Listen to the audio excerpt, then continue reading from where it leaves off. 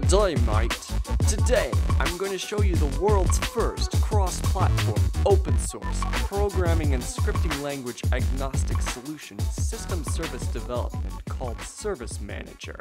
System services are processes that start when the system boots up, and they can be rather tricky to develop even for a single platform. Service Manager lets you write code in whatever language you want to use while it natively deals with the nitty gritty details of system service management. To demonstrate the flexibility and power of Service Manager, I'll use the PHP based test service from the Service Manager source code. Let's start with Windows. I'm here at an administrator command prompt. To install the test service, I run php test underscore service dot php install.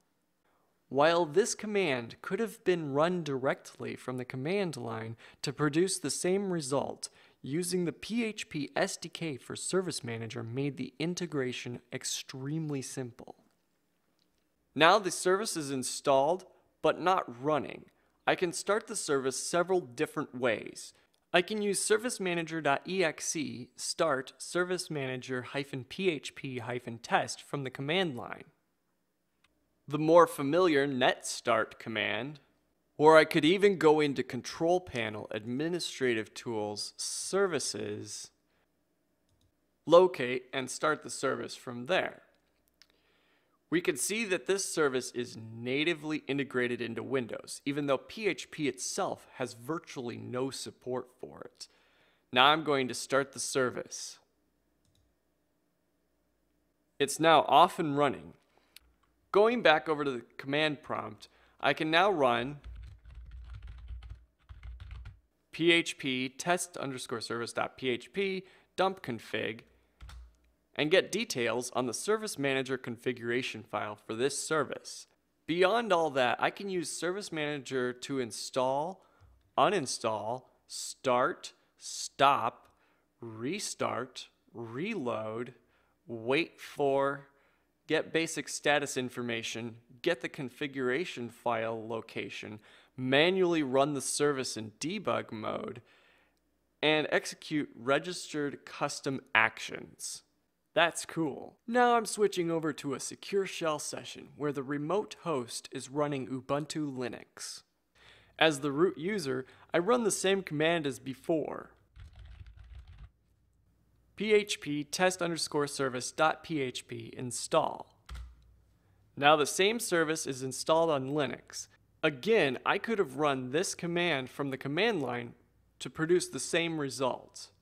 To start the service, I can use service manager underscore nix underscore 64 start service manager hyphen php hyphen test or start the service any number of other Linuxy ways.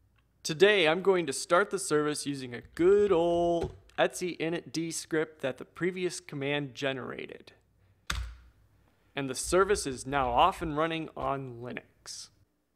Service Manager is a set of pre-compiled binaries for each platform that have the exact same set of basic command line options. The PHP script does nothing but watch the file system for two specific files to exist, and the PHP SDK is nothing more than a glorified set of carefully crafted system exec calls. The binaries themselves are where the real magic happens native integration with the OS itself, providing all of the necessary functionality for a native system service, including useful features such as automatic restart should your code prematurely exit.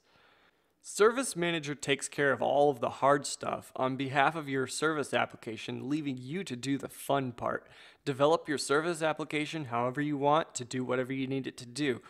All you have to do is bundle the Service Manager binaries with your software and pay attention to a couple of locations on the file system.